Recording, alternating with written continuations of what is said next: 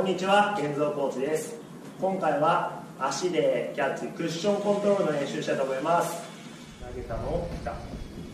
反対の足も来た。投げたのを来た。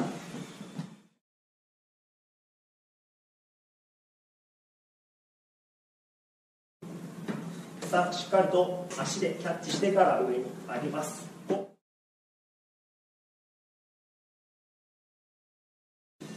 三四五いきます。最後。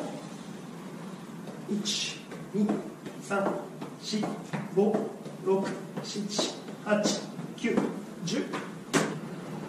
みんなで頑張ろう。